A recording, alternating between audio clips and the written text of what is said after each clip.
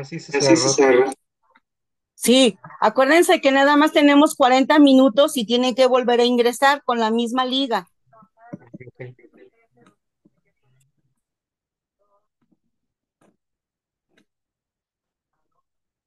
¿Ya estamos todos? No, faltan dos. Susana nos falta, ¿verdad? Sí. Porque ya está Mayrit, Yaret, Fabián, Daniel, ya entró Susana, ¿ya ven? Ok. Uno, dos, tres, cuatro, cinco, seis y con eso somos siete. Bueno, vamos a ver. Les voy a poner una.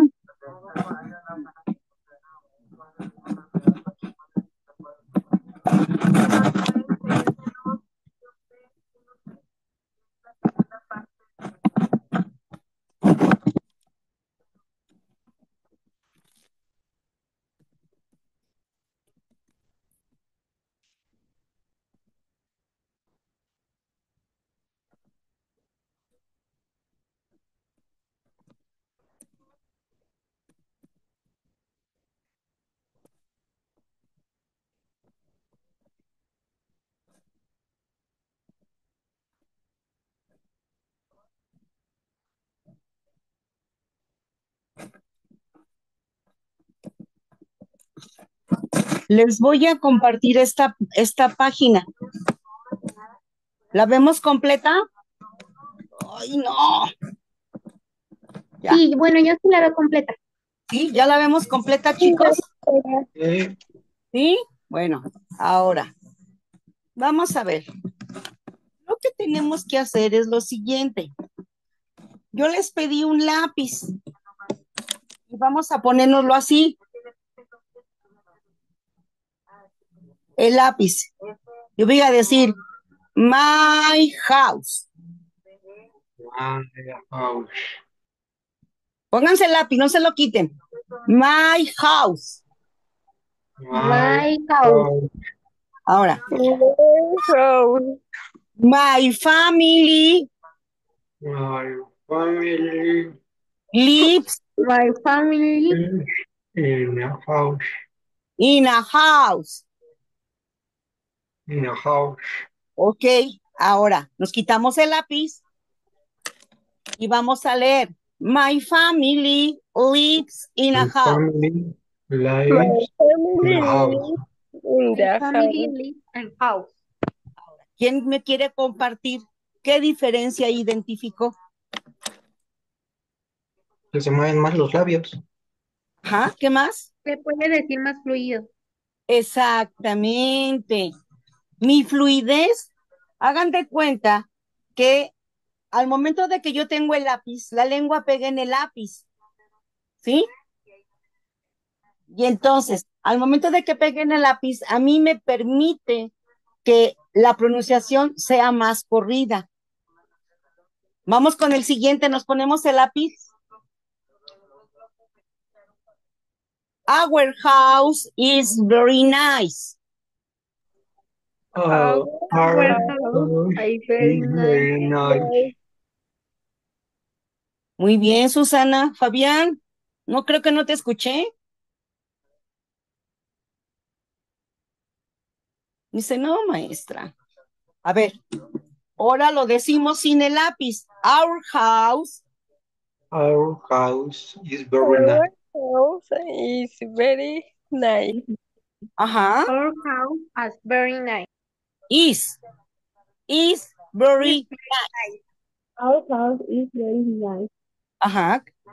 ¿Qué encontraste de diferente, Mayrit?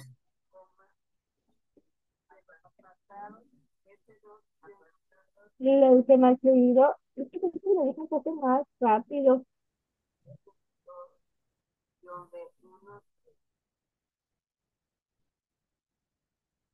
Muy bien.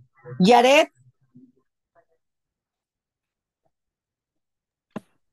Que se dice como que te aprieta los labios. ajá, sí, muy bien. Daniel, Pues, pues, la fluidez, ¿no? Porque- es que yo creo que parte de la fluidez es que ya también lo leímos antes y ya como lo decimos, ajá. ya. A ver, ahora vamos a leerlo sin lápiz, la, la, que- la oración que sigue, sin lápiz, It has two bedrooms. ¿ok? It has two bedrooms. Ajá. It has two bathrooms. Two. Muy bien, ahora nos ponemos el lápiz. It has two bathrooms. It has two bedrooms. Ajá, It has two bedrooms. ok, It has two bedrooms. ok. Al principio como, nos da, como que nos da mucha risa, ¿no? Escucharnos cómo nos cambia la pronunciación al momento de que estamos trabajando, ¿sí o no? Sí. Pero eso nos va a ayudar mucho. ¿A qué nos va a ayudar? Nos va a ayudar a que poco a poco yo voy a ir viendo cómo mi lengua, mis dientes van a ir tomando una actividad al momento de que yo voy leyendo. Y ya no voy a decir así como we cook and eat in the, ¿no? O sea, ya poco a poco voy a ir manejando un poquito más, mejorando mi pronunciación. Ahora, vamos a leer hasta aquí, sin el lápiz. Hasta kitchen. My house. My house. My house. My My family house, my lives. family lives in the Live. house. Our Not house lives. very nice. Ajá. Listen to me. My family lives in a the house. I live in house. Okay. Our house is very nice. Our house is very nice. It has two bedrooms. It has two It bedrooms has two It has We- two bedrooms. We cook and eat and eat in the in the kitchen. kitchen. the We kitchen. cook and eat in the kitchen. Es eat. Ki- kitchen. Eat Eat. in the kitchen. Porque aquí me dice, tengo la palabra, se escribe EA, ¿verdad? ¿Sí? Sí, Sí. Sí. Eat. eat Eat in the kitchen. in the kitchen. In the kitchen. Ajá. Kitchen. Ahora, ¿quién la quiere repetir con el lápiz? Chicos, My family lives in a house. Our house is very nice. It has two bedrooms. We cook and eat in the kitchen. muy bien, Daniel. ¿Identificaste la diferencia? Sí. Creo que hasta leíste un poquito más rápido. Ah, bueno, es que lo leí con el lápiz. Por eso. A ver, sí. Yaret,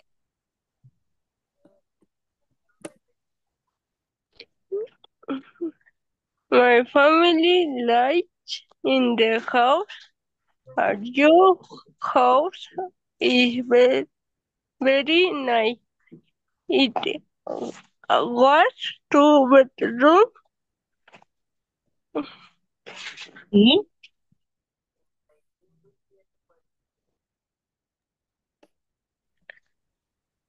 We uh, cook, cook at uh, Eat.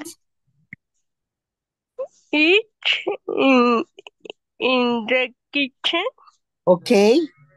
Muy bien. Y ¿Cómo te sentiste?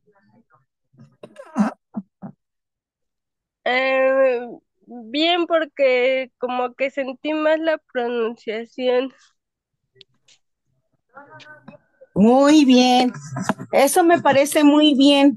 Entonces, son actividades que ustedes pueden ir practicando. Lo que yo les puedo sugerir es eh, lo que yo les puedo sugerir es agarrar, por ejemplo, este tipo de lecciones que son muy chiquititas. Si gustan, se las comparto. Y van a identificar cómo poco a poco van a ir ustedes trabajando. Se van a dar cuenta de que su pronunciación va a ir mejorando. De hecho, eh, lo que también pueden hacer es, yo me pongo enfrente del espejo, ¿sí? Me pongo enfrente de un espejo y voy pronunciando y se van a dar cuenta cómo se van moviendo los labios, inclusive el mismo lápiz, cómo va teniendo un movimiento, ¿sí? Entonces, esto es lo más importante, decir, ah, pues voy a empezar a practicar.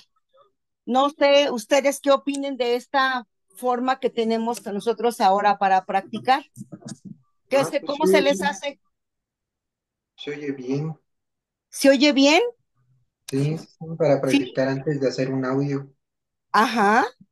Esto les va a ayudar mucho eh, para ir un poco, para ir, para ir este, buscando la manera de que se vaya mejorando un poquito y tengan más que nada a ustedes les dé un poco más de seguridad para poder leer.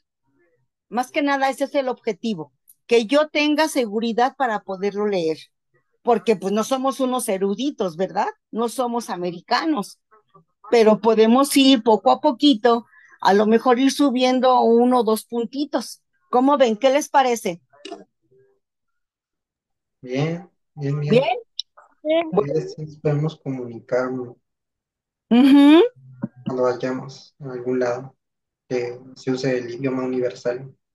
Exactamente, es que el inglés ahorita hace muchos años era como nada más era, se decía que era como una materia de relleno y ahorita ya es una materia muy importante, así como lo que son las informáticas.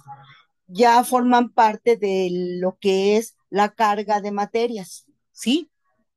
Por eso, por eso les digo que es este, es necesario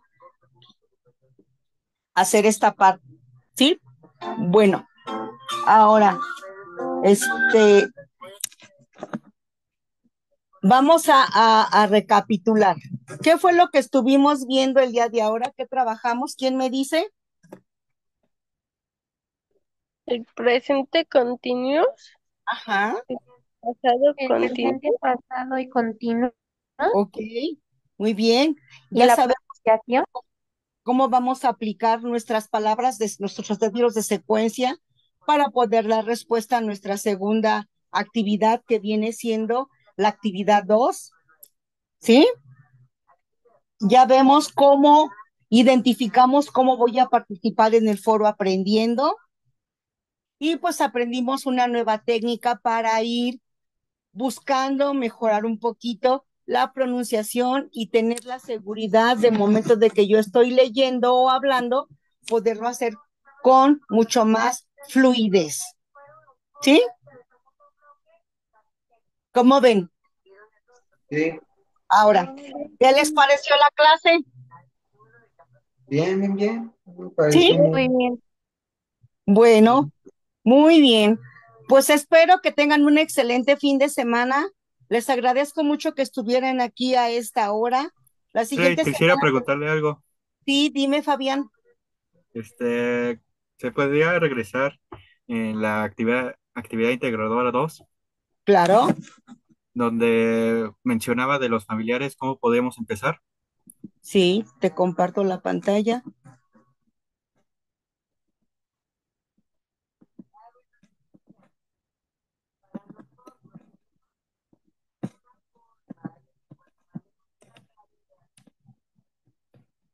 Así, porque te dice, ¿con quién vives? Who do you live with?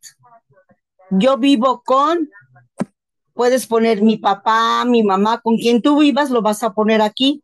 Y es la forma en que tú, y luego ya vas a poner mi mamá o durante el robo mi mamá estaba preparando la comida.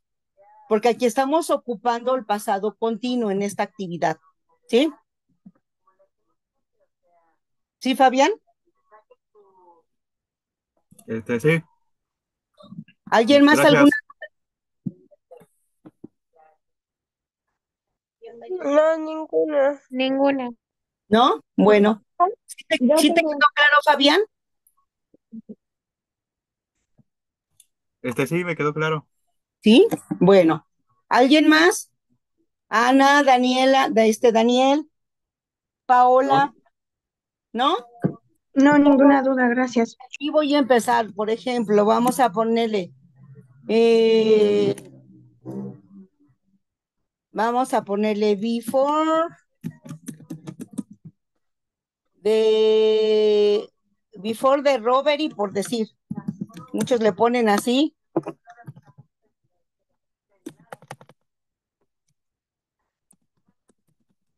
My mother was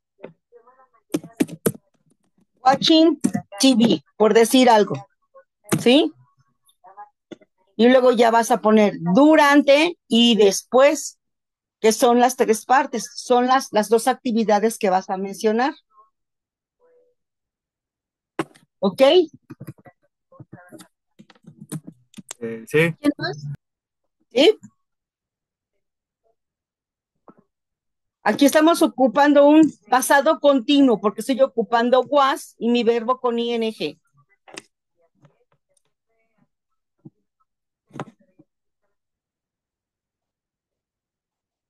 ¿Todo claro, chicos? Sí, Todo claro. sí.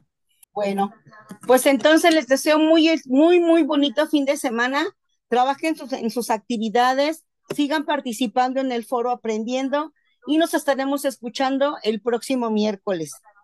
Have a nice weekend. See you next Wednesday. Bye.